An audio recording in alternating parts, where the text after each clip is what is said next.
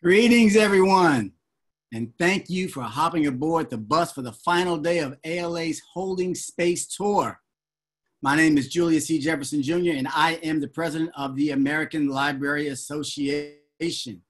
And today we are delighted to have you with us, and you are in for a treat, believe me.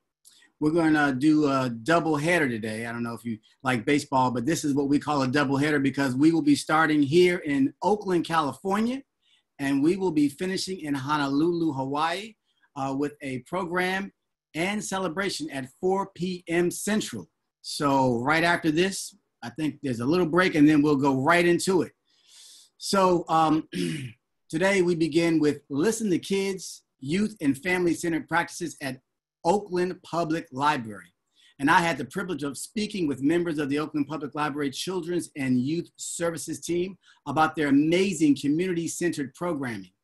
So we're going to start with those interviews and then we will be joined by Oakland's Youth Poet Laureates for live conversation and performances. So sit back, relax, and roll the video.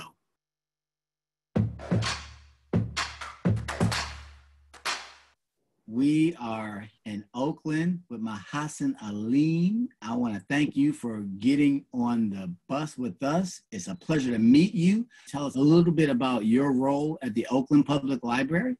Yes, I've worked at the Oakland Public Library for just um, just over six years. Um, I am the Children's Collection Management Librarian for the system.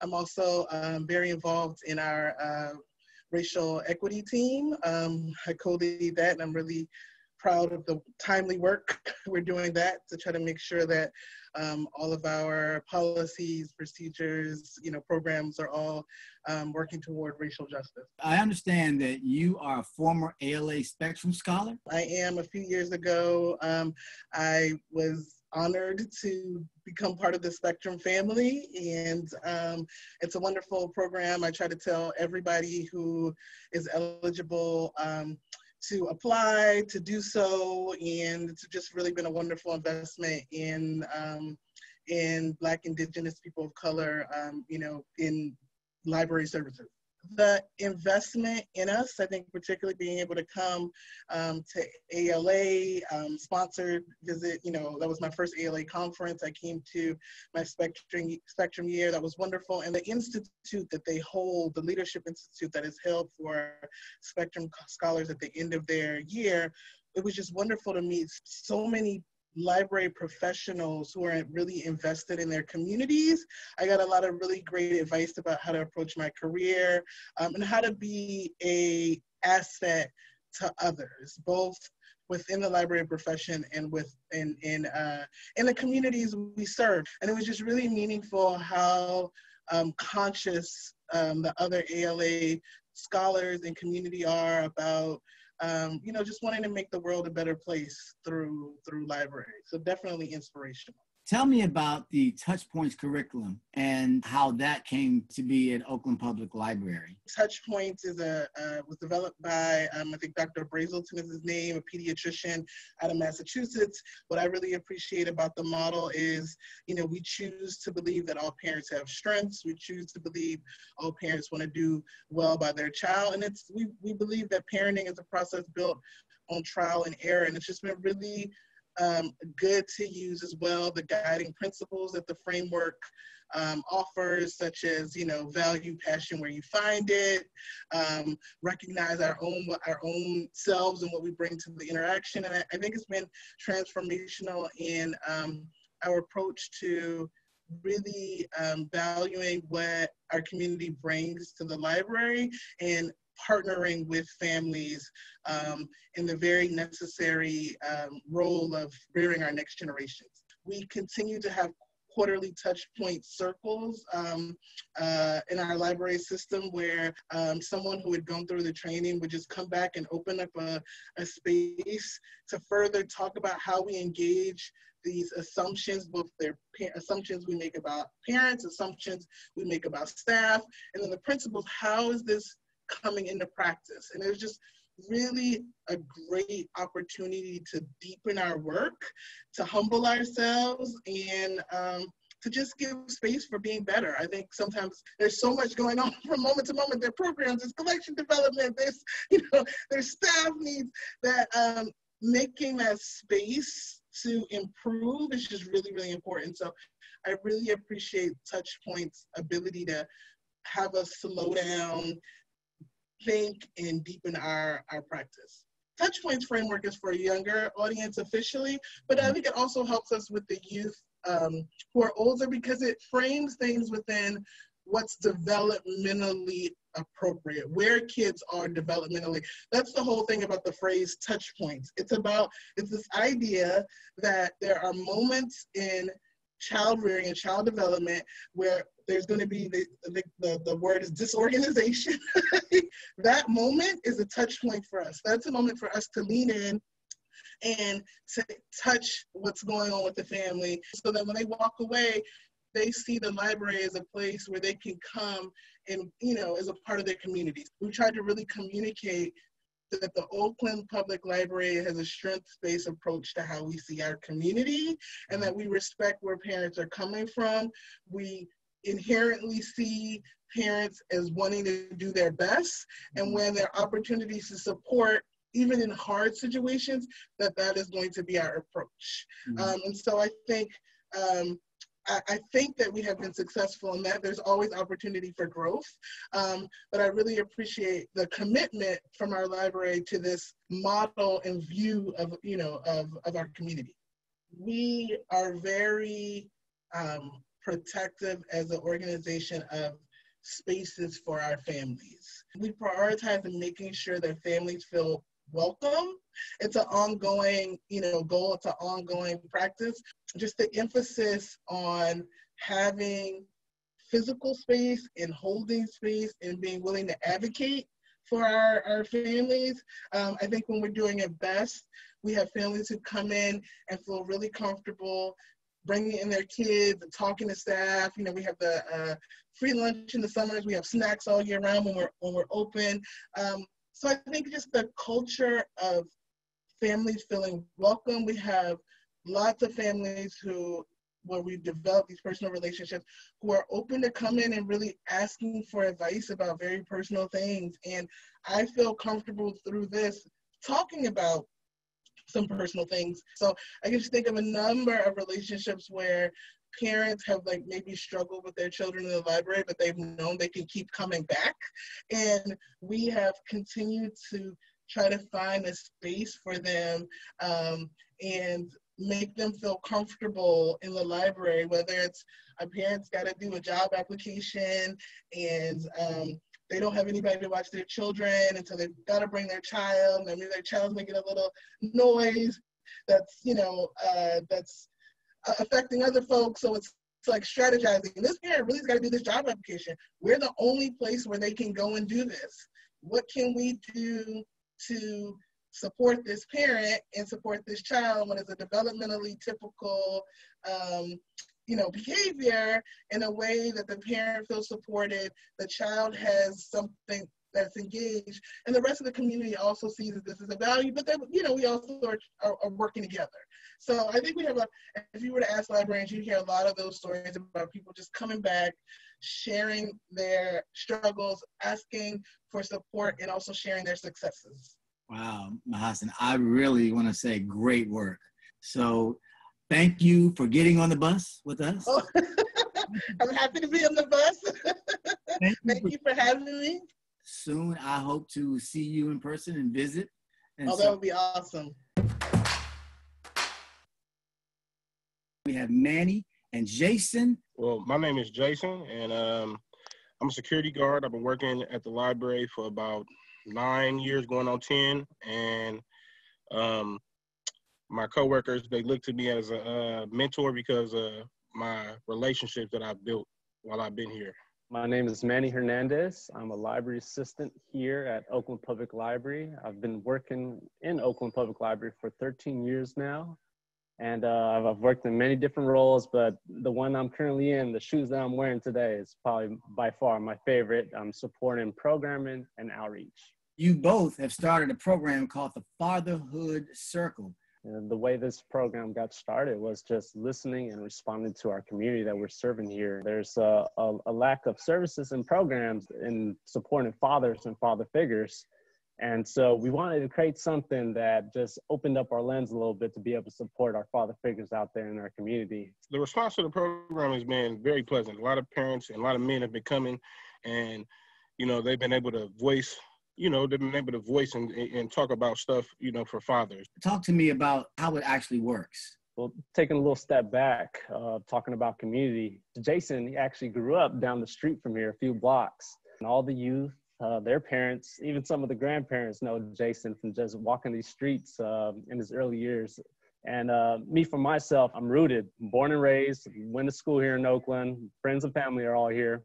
So when it comes down to creating something that serves our community, um, I'll have to say that me and Jason know community pretty well. So we wanted to create something that um, spoke to our people, spoke to our community. It started off very organically where we are just talking in a library environment and father figures and men just started to gravitate towards each other and engage in communication. So we figured that it was time to create a space, a time, a designated program for all these stories to live and for us to come together. I grew up in a household without the father, so I know what it's like. You know, that's the reason why I, I, I love this program. It's like a family setting. We all get, we all sit up and we, you know, get some food and it's no judgment. Everybody gets to talk and, you know, just express themselves without having to be judged by anyone we, we kind of created a set rules for the program so that anyone who's walking into the space has a neutral respect for the program and the rules we kind of laid out there. So whatever is said in this program environment is going to stay here, and we're not going to take it out into the streets or into anyone's home. It stays here and lives here in a safe, warm place. Hosting these fatherhood circles, um, why do you think it was important that it be at the at the public library? All right, people love the library. Anything associated with the library, it's just it's a positivity that's lifted in the community, and that's something that we hold on to and we run with it with every single program that we provide and it's also a reflection of how me and Jason build on relationships with anyone who walks into the library. We, uh, we, we hold that value. Manny, I hear that Oakland Public Library has offered story time at a neighborhood laundromat. That is correct. And this program holds a special place in my heart. These four walls can be a bit restricting uh, for the type of services and programs we want to create. And especially when you bring in the whole edge of how we connect with communities and we try to build on communities and support families, this opportunity just naturally uh, spoke to us and developed. Uh, we've been in partnership with this laundromat in the east side of East Oakland, and the ownership just so happens to be uh, past educators who have then started this business and reached out to Oakland Public Library to do a partnership. And what they did there is they created a space, a safe corner in their laundromat to be able to host community partners to come and present and provide different services in which we were granted the opportunity to come out and do story time. What started off as just one story time kind of unfolded to uh, us bringing in more staff members on board to support this opportunity to be able to really reach in free book giveaways and a story time and a pup show and different types of crafts based out of this laundromat. This is considered a pilot for us, and now we're looking into different partnerships and how we can provide more services like this outside of the library and uh, branch out to other laundromats, um, hopefully in the near future. I think one of the most meaningful expressions is not necessarily given by words, but uh, it's given by the biggest smile that you see.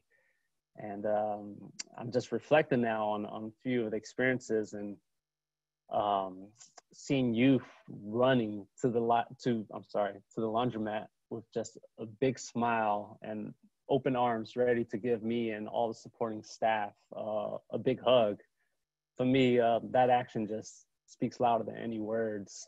It's a struggle in today's day in life to maintain a household, and so to be able to unite services on with somebody's family uh, in a neutral space like a laundromat, it's been uh, really special. I, I'm, I'm hearing that there's there's also something about a bike library as well uh, I love bikes and I love books. So uh, we use a bike library um, to provide the service, and it is the absolute best icebreaker to see a gentleman or librarians just riding down the street on a bicycle with hauling a trailer full of books it's just a wonderful sight and it's one of our tools that we use here in oakland public library and we actually have a fleet of them and so whenever we roll into the family laundromat with this trailer full of books which is our mobile bike library it's already an icebreaker and we have families presenting themselves to us uh, engaging and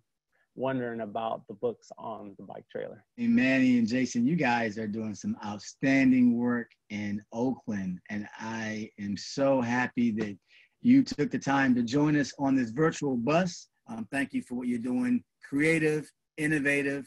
I really appreciate your work. Best of luck with the rest of your tour. Take care. We are here with Miriam Meadow from the Oakland Public Library, and I want to thank you for joining us on the bus. Tell us a little bit about what you do at Oakland Public Library and the community that you serve. Uh, my official role is that I'm children's librarian at the Diamond Branch of Oakland Public Library. Though since our facilities have closed, that's look a little bit different. I've been doing sidewalk service most recently, making sure that we're getting materials into the hands of community members, even though our library spaces are closed. Oakland, it's about 430,000 people, and we're across the bay from San Francisco. And Oakland's one of the most racially and culturally diverse communities in the entire world. The community we serve in the library, we, we see all ages, abilities, language skills, gender presentations, sexuality, family structures, income levels, just about all of it. So our patrons represent a wide range of interests and also needs and social positions. Miriam, I understand that you coordinate a program called Family Pride every June is Pride Month, and the fourth weekend, I believe it is, of each June, San Francisco has a huge Pride event. They, they have activities all weekend long, uh, and there's not too much that goes on in Oakland and in the East Bay during that Pride weekend.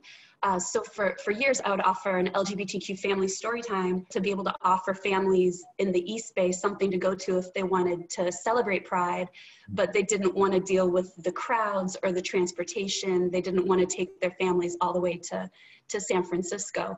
And we, we would have really sweet events for, for those story times. But then in 2017, uh, it, it, it, was about the time when drag queen story hours were happening more frequently. And i really wanted to bring in drag queen story hour for for a family pride event. But um, my my facility my building was being remodeled. And so i wasn't able to host an event in my library.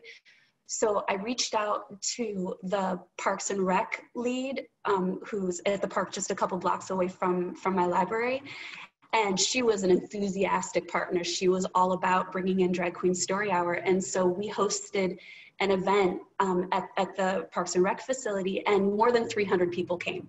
So it was really clear to us at that point that we had hit on something that, that the community was interested in. And she was so great to partner with that we decided to do it again the next year. But we didn't want to be in an in an inside space because it was a little too crowded with with the turnout we had. So the following year, we used the outdoor park space and we had drag queen and drag king story hours. We had face painting. Uh, we did a book giveaway. We invited the Oakland Museum of California to come and lead a craft, and they were really happy to partner with us for that too. We had um, huge games like an enormous Connect Four game that, that was out in, in the in the park, uh, and we had dimension food there was food. It was really good. And we had a big turnout for that too so we did it again in 2019 and at that point, I was thinking about how this could be instead of something that was just local to, to the branch that I serve, that maybe this was something that we could have be an annual event that the Oakland Public Library offered every year and that I wasn't always coordinating, that we could bring some other people into coordinating the event. And that's what it was going to be in 2020. Um, we were scheduled to, to have an event at an amphitheater by Lake Merritt Lake Merritt is called the jewel of Oakland. It's a gorgeous space, and it would be an incredible place for a family event like this.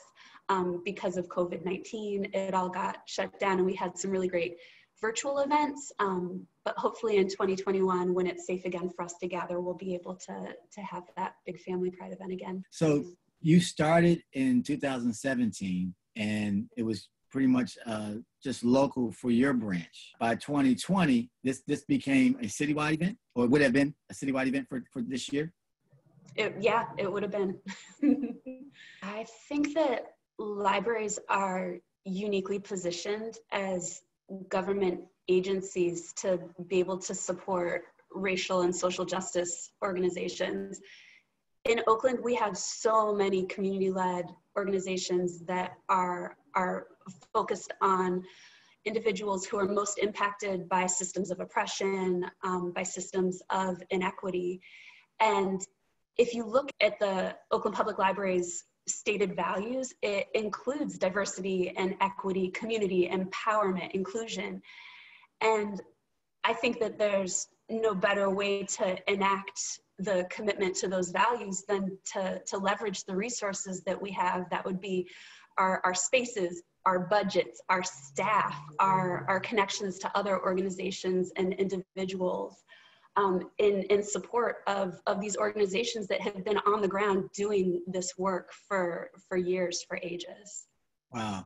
Was this something that you had been involved in, in, in Pride or um, just, just, you know, the LGBT community before you, you know, you sort of were thinking about this? Uh, Definitely. I've I've lived in in Oakland for 16 years and I am queer and have participated in in pride events personally for for for years and years and years. Um, so so there's definitely a bit of, of bringing my personal interest to, to the work when when I've I've put my efforts behind family pride events. So what do you think that the 21 will look like? I mean, you're gonna you're off a year. This was going to be a big year with citywide. Are you beginning to plan for 21? Um, so we haven't started planning for 2021 yet, but um, there there've been talks about about being able to figure out some sort of karaoke. Um, last year we had a queer taiko group come that was incredible, and we might bring them back because um, in an outdoor space they can be so loud. Stay tuned. We're still going to plan something great. I can't wait. I can't wait to, to hear about the 2021 event. And so. it's a celebration. It's a party. It's a really good time. I promise that one day soon I will be in Oakland and we will be able to meet face to face. All right. I look forward to it. Thanks, uh, Julius. My name is Anthony Propernick. I'm a senior library assistant here with Oakland Public Library. My role is in uh, community engagement and outreach. My name is RB. Um, I'm a library aide at Oakland Public Library, um, and I coordinate Bikes to Books programs at OPL and I'm an East Oakland resident, born and raised. Oh, how about and and proud of it too. Right. I understand uh, the two of you supervise a bike program for youth. Yeah, so the Scraper Bike team was funded in 2007, um, and it's a a native bike of Oakland. So we use duct tape and candy wrappers um, and spare bike parts to get creative and support youth entrepreneurship through creativity. Can you describe what a scraper bike is? Um, a scraper bike is a bike that's brightly colored and decorated in bright flamboyant colors. We utilize spare bike parts to make one awesome bike. And then you ride the bike and get around town. Uh, we, we, ride we ride the bike. Uh, we do parades. Uh, we do bike rides, video shoots, commercials. Why have a, a, a youth bike program at the library? It came about for us in 2014. I first uh, see, I've seen RB around and some of the events that he had been talking about. I'm an avid cyclist and RB is involved in a lot of community programming in East Oakland. It was Earth Day uh, event that I we we connected and we talked a little bit about bike stuff. He was there with a bunch of youth, and then the next month on Bike to Work Month, we had an event here where we were fixed bikes. So people show start showing up to ask us to fix their bikes, and we got overwhelmed. Um, so the need kind of came organically to us, And I had known RB from uh, some some events, and I and I knew the good work that he was doing, um, and asked him if he'd be interested in coming coming around and, and setting up something formal to do bike clinics um, at, at the 81st Avenue branch. And I'll, and I'll say that before before we launched this, um, and still today, there are no bike shops in East Oakland. At the time, there wasn't anything from 50th to 107th. That's 57 blocks of no bike repair access. Um, so we were the first bike shop in town, and then we we expanded that to our MLK branch on 69th, along with the Shed, our Martin Luther King branch. Now we have two bike shops in East Oakland. We're still the only two bike shops in East Oakland. So uh, the good work is something that we expanded on from RB and just kind of incorporated and figured out that as a need in the community. And the library wanted to facilitate and respond to that. The library stepped up um, to address the need of the community, um, and we start fixing bikes for the community um, and helping the kids. Um, is there anything about how this program changes the way the youth interact with their communities, uh, neighbors, classmates, and others? What I've noticed is that RB embraces youth that a lot of our community has grown tired of or that, that have grown intolerant of. And I think um, he's changing youth that, that might be at risk of, of being sort of on the fringe and, and outside of, of mainstream uh, interactions with the community. I think in, by RB valuing them and bringing them in and, and, um, and helping with building behavioral and, and, um, and sort of community health ideas with them, I think they are then adapting and feeling feeling respected and valued. And let me just ask you, Anthony. I'm looking at your background, and I'm looking at uh, does that say Duct Tape Chris? Duct Tape Chris is a perfect example. Duct Tape Chris um, got involved with the Scraper Bikes as a student. Next year, we have two small elementary schools next to our 81st Avenue branch, and he got involved with RB and felt became really good and skilled in helping others and doing his own wheels and you know, he was in the Warriors championship parade. He's been celebrated, and now we have examples of his work displayed in the library, which further celebrates and recognizes him as a young person. And you know, I, I remember a while back, he was his parents were wanting to leave Oakland, and Duct Tape Chris said, "No, I can't leave Oakland." And they said, "Why not?" He's like, "I got too much going on here." He's like, you know, he was he was part of something big. He felt that's what we're doing, and that's what RB is doing is like making these youth feel like they're part of something big, and um, and they and they matter. A lot of people talk about gentrification, which is what's currently going on in East Oakland. To combat gentrification, it's a thing called re-gentrification. Shout out my new councilman Loren Taylor for this phrase. Re-gentrification is when we support youth entrepreneurship and we assure that the youth um, they go to school, they get good grades. We give them alternatives to to uh, what they subject to in the community as far as like gang violence and other stuff um, and understanding that there's no such thing as a bad kid, being able to support the youth, um, making sure that, that they, they're successful in whatever entrepreneurship they want to pursue, um, but just sparking that creativity um, through them decorating and making awesome bikes. I think that's the most powerful thing that uh, I have to offer. So I want to pivot real quick, and I want to talk to you about um, the, the community engagement and um, some of the partners that you work with on this bike team. We have two, two sort of parallels of expertise here in the library system. We have our, our institutional knowledge and our, our um, librarians who come, who have a very strong background with their MLIS and sort of the functionings of a library in its traditional role. And I think as we've learned to be relevant in a community and serve different communities, we need to um, find this other expertise, but which is which comes from the community uh, and, and, understanding of the community. So we we have a lot of partnerships, not just with organizations, but with individuals, um, trying to develop relationships um, and acknowledging that like someone like RB is an expert as equally as value as, as any MLIS degree to bring in meaningful programming that, that matters and that represents what the community's needs and wants are.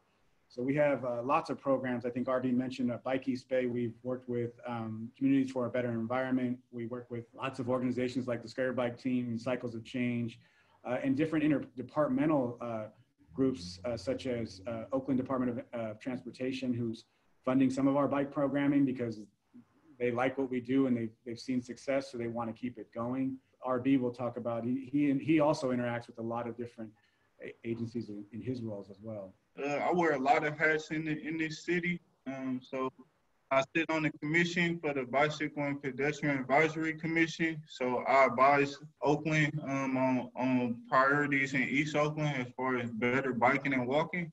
I partner with East Oakland Collective. They're doing a lot of work around homeless as well as like getting youth on bicycles. Um, I partner with the Department of Transportation to ensure that we have a successful bike network in East Oakland. Can you talk a little bit about the workshop in San Francisco Public Library? Last year, um, San Francisco Public Library contacted Oakland Public Library to get in contact with RB because they wanted to, they had a bike theme as part of their summer reading program.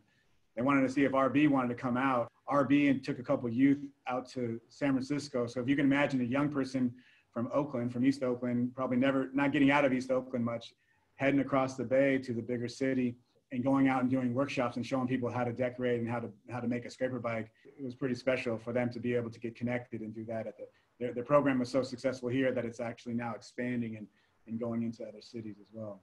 How's the program going now with COVID?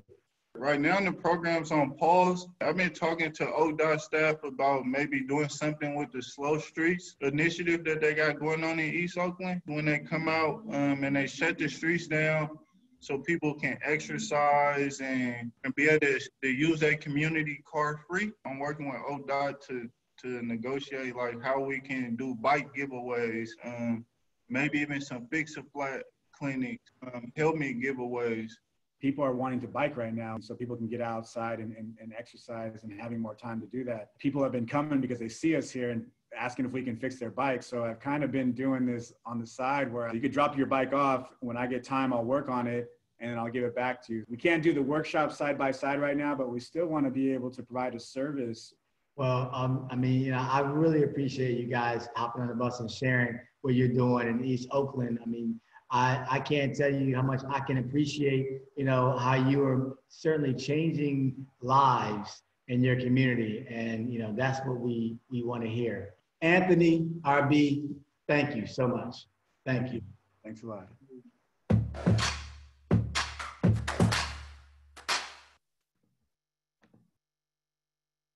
All right, we're back.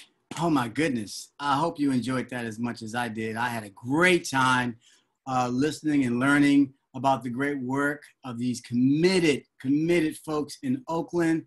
Uh, Manny, Jason, Miriam, Anthony, RB, thank you once again for the inspiring work you're doing at Oakland Public Library. Honoring the voices of community is such a clear theme in the conversations I've had with you, and I commend you for your work. I think you've all helped us uh, reflect on our own practice as well, no matter what type of library we work in. So again, thank you so much. Now, everybody, uh, we have something special for you. We're going to pivot real quick and we're going to bring in a whole group of new folks here. Uh, everybody seems to be on. Okay, all right, we're pretty good.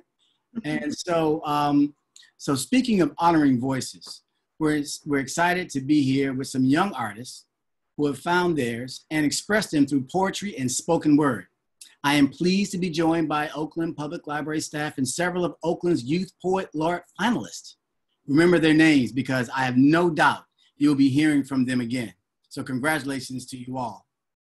So we'll get to the introduction, introductions in just one moment, but uh, let's jump right in with the first poem from Samuel. Thank you. Um, this poem is called Brook. Step, breathe, step, breathe, step, breathe, step, breathe, run, run, run, run. It's all you know how to do, isn't it? Can't throw or catch, can't hit a ball with a bat, can't kick a ball into a net, can't do any of the things real men do, but you sure can run. Can't you run? run away on the days when the rain makes the lake swell and overflow. I remember how Aklila wrote my name six years ago, hammered the Amharic buruku into brook with the crudeness of English letters trying to build something they have no business attempting to shape. And I feel myself become water, become a brook, become an overflow, trying to escape something it had no business attempting to be a part of in the first place, become running water, running, Gunshots fire, running, bodies surge at the starting line, running, a boy falls, running, we trample him, running, he gets up anyways, running, his coach yelling from the sidelines, a boy falls, and we trample him anyway.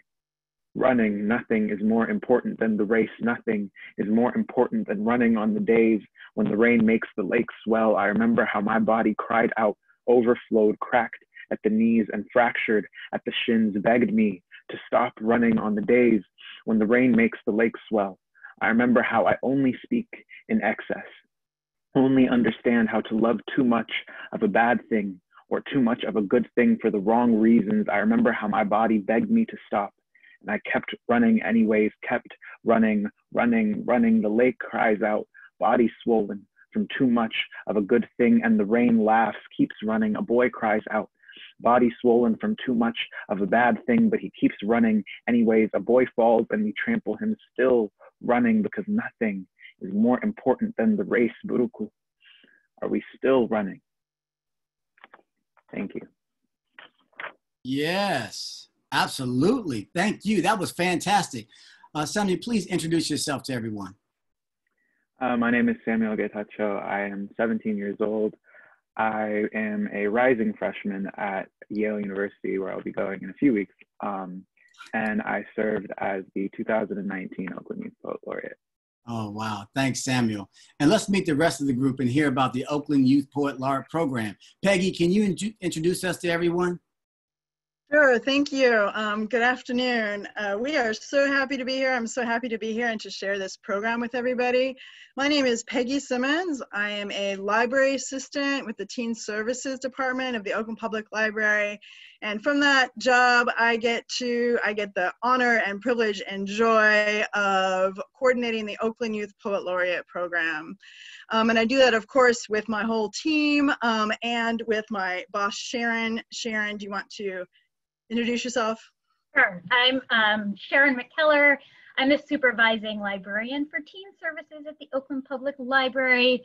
So part of my job is working with Peggy on this program, and it's uh, kind of a dream. I've been with OPL since 2003, and since the start of this program, even when it had nothing to do with my job, I've been really avidly following it and um, really supporting it.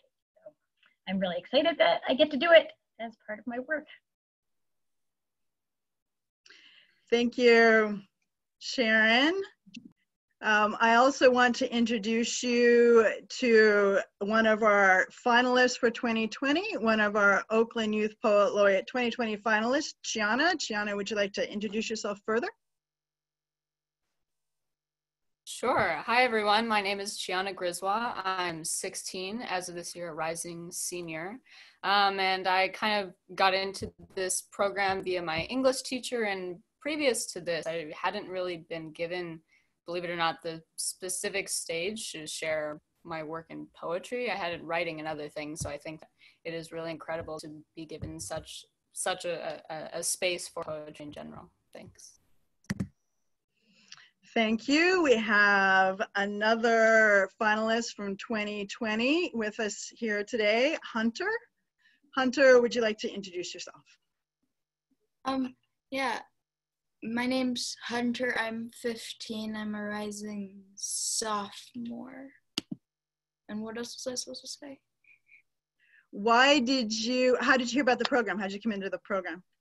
Oh, um, well, my, in seventh grade, my mom showed me this writing competition thing, except I was two years too young, so we just put it on the calendar two years in advance. And awesome. I don't think I'd heard that part of your story before. and um, our fourth poet today, and you will be hearing poems from all of them um, over the course of the next 21 minutes. Um, our, our fourth poet, um, our 2020 Oakland Youth Poet Laureate, is Greer. Greer, would you introduce yourself further, please? Uh, hi everyone, I'm Greer Nakadegawa Lee. I'm 16 years old and I'm a rising junior. And I got involved in this program when I went to an open mic that Samuel, who you already heard from, was emceeing. And um, I read a poem there, and afterwards, Peggy came up to me and asked me to apply for the program, and I am very glad that I did.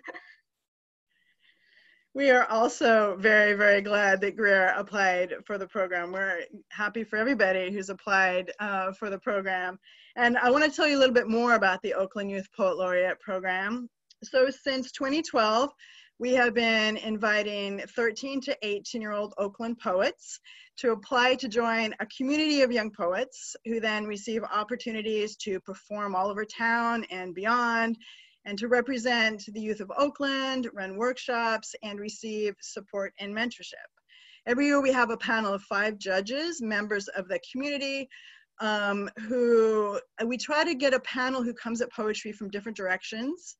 Um, and then the laureate, the person who's named laureate, um, gets a $5,000 scholarship to the school of their choice, and they have certain responsibilities. Um, I'm going to make sure to say right now that that scholarship is funded by Friends of the Oakland Public Library, and it's really the friends who fund so much uh, of this program. Um, you can donate to them. Their link is in the chat. Um, it's really thanks to the donors, uh, to, to the friends and all the friends' work that we can do this program. Um, and so we have that we have the laureate every year, but also all the finalists and now all the applicants get opportunities to perform and grow as poets. Our idea is really uh, to form a community of, of young poets who can be supporting each other. And of course, we can't do that without um, a whole slew of community partners, organizations, and people in the community who have been supporting us since the very beginning. Okay, um, I want to just say, Greer, that there have been a lot of great poets that have been discovered at Open Mic. So, good job. So, I want to turn to Sharon. Um, and Sharon, how does the the uh, Oakland Youth Poet Laureate uh, program fit into the library's vision for teen services and the mission of Oakland Public Library? It's a really good question. A lot of youth poet laureate programs in other cities are not run through the library. They're run through more community organizations. Um, but we think it's a perfect fit for the library. So in teen services, we're always working to put teen voices up front. So everything we do in teen services is to center teens and to support them. Uh, we want to sort of help them build the life and the community and the world that they want to see. Uh, so we're not we're not sort of trying to tell them what to do or teach them so much as listening to them and then providing them opportunities and offering them guidance along the way. So clearly you can see how this program epitomizes that. We are offering them not just a poetry platform, but we're challenging them to think further and to go further in, in what their words can do. So exploring the power of their words and how they might be able to use them now and for the rest of their lives. So that's really important. Um, and then we also help build a community so that they can also turn to each other and inspire each other with, with their work and their words. And then in terms of the library in general, you know, as library workers, we are all centering our work kind of around information and opportunity and service to the entire community. And so, you know, at OPL, our mission statement is in, empowering all people to explore, connect, and grow. Um, and it's, I think, obvious to people how that applies to the teens who are involved in our program. But what's maybe a little less obvious is how that also applies to other people in our community. So every adult that has the opportunity to hear these young people speak and um, read their poetry is given a huge opportunity for growth. Um, we think that's really important. They have so much to teach. And then every younger child or teenager who gets to work with these poets in, in poetry workshops and other places they go is also given the opportunity for growth and to explore their own voices. So we really think from the library, we're uniquely situated to make sure that this is impacting the whole community and not just the kids involved. And then lastly, um, unintentionally, but a little bit of a collateral outcome of our program is, is outreach. So it's not an outreach program, but it turns out that these poets are out there. They're all over the community. They're reaching thousands of people per year. Um, and so it's showing the community the work that the library is doing with young people. And it's also just putting the, the library's name out there into the community. So. Mm. Thanks. Thanks so much, Sharon. So you mentioned the power of words. So now we're going to get out the way and we're going to hear uh, a, a poem from Chiana.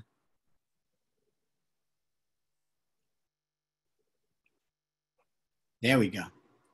Meet myself. Okay, great. So everyone can hear me good. I'm gonna I'm gonna assume so. Great.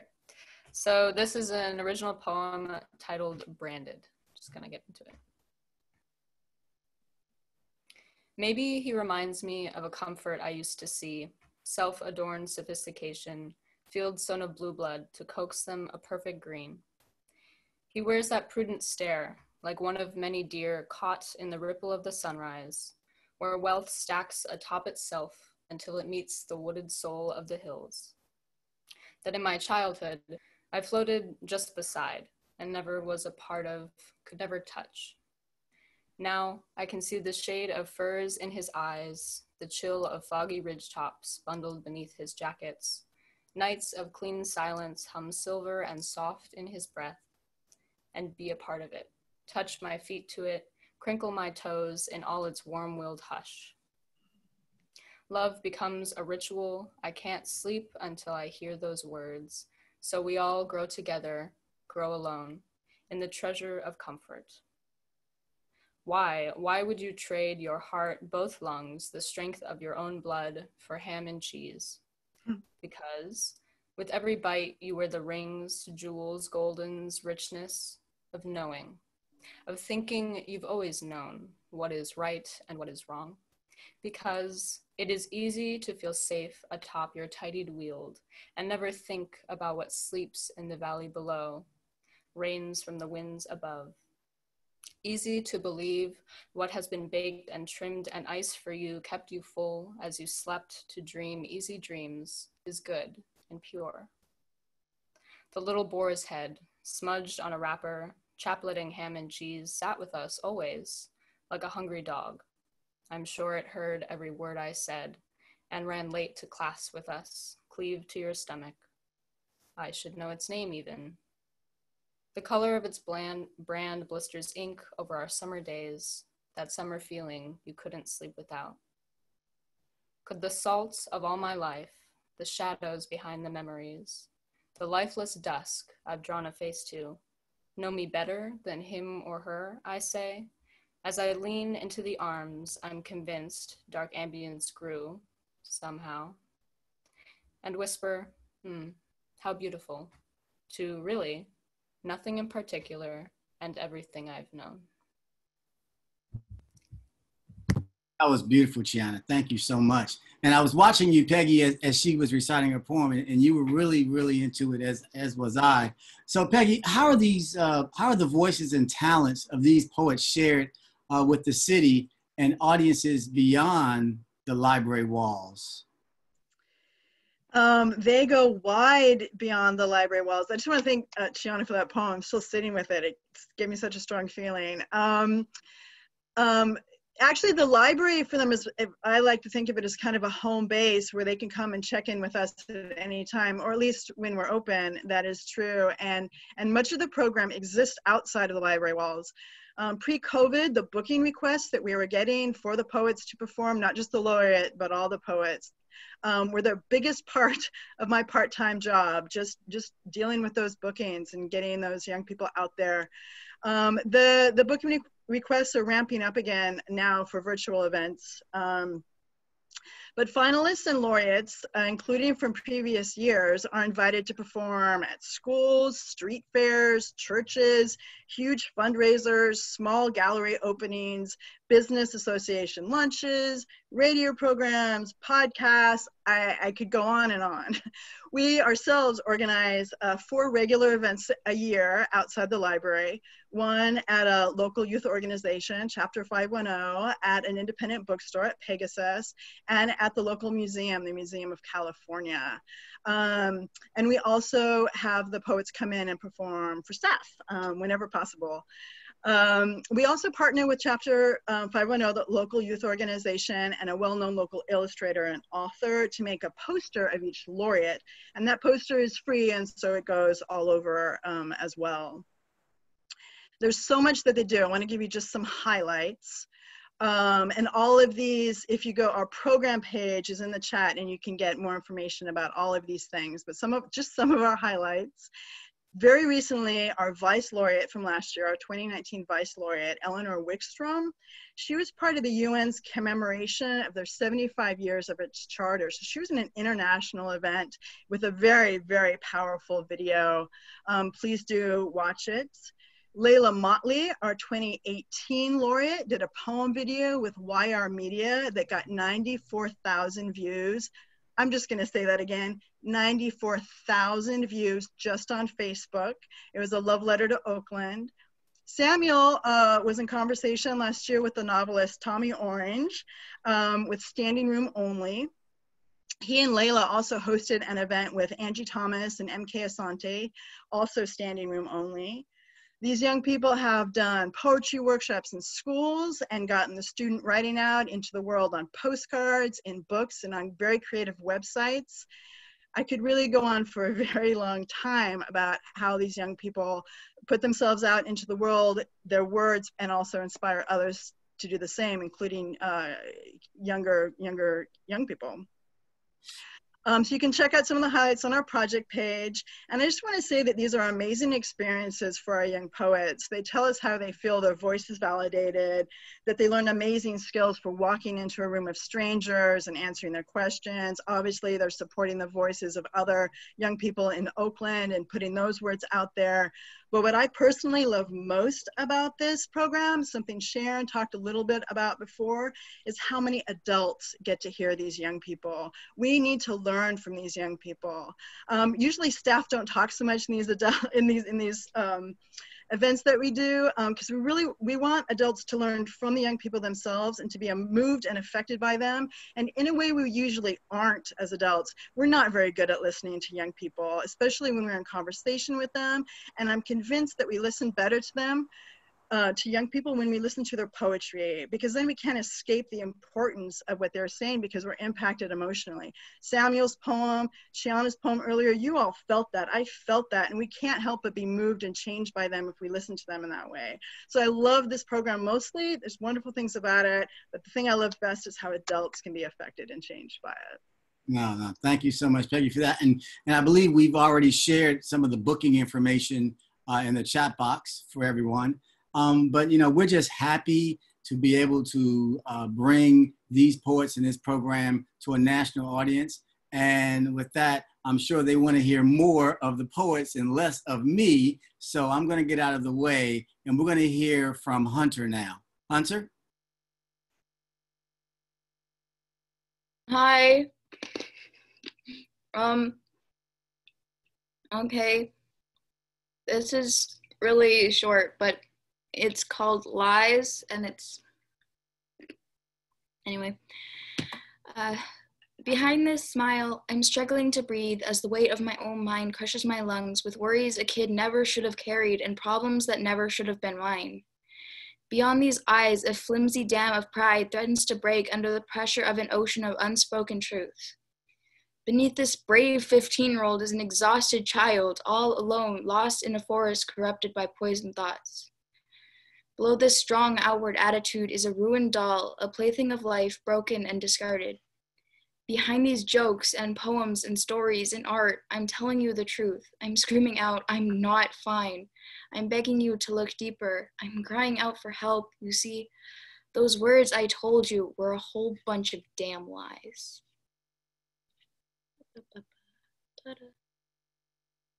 I like that one. no, really, I like that one quite a bit. Thank you so much, Hunter.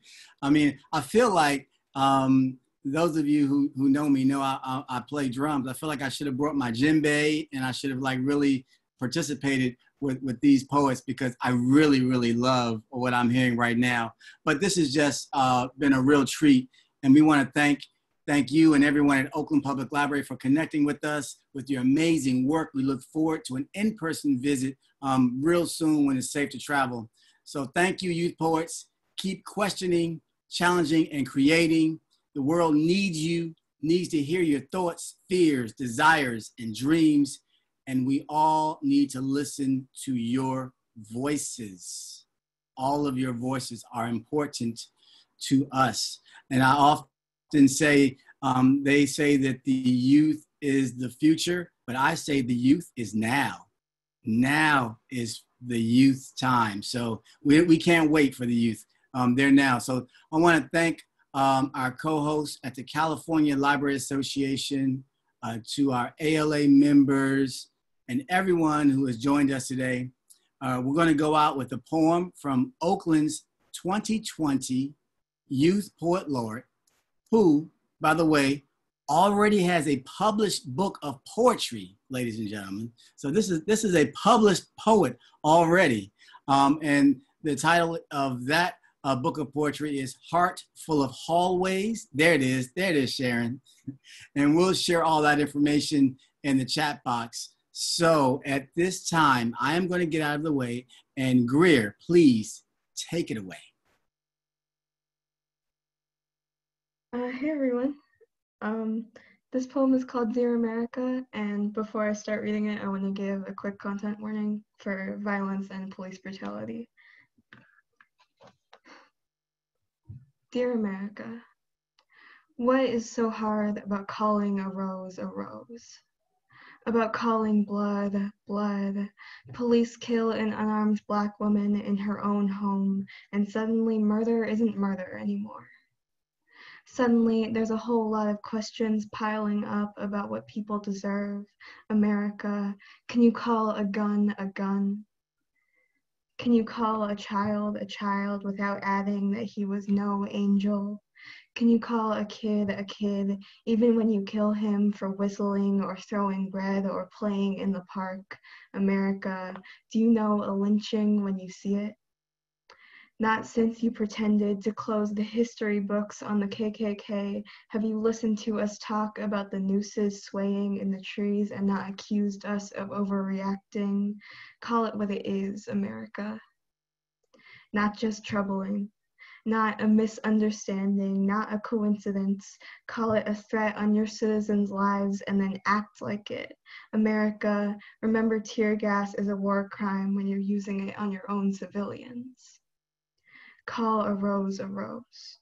Call a murderer a murderer even when he has a badge.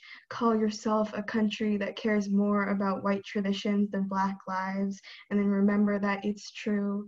America, there are nooses growing in your trees again. America, I'm begging you, don't wait around for the harvest. Thank you. Wow that was a powerful note to end on. I'm going to just say this one last thing. Um, Oakland Public Library is making me want to be a kid again and move to Oakland because you're doing so many great things. Um, thank you, Greer. Thank you, everyone.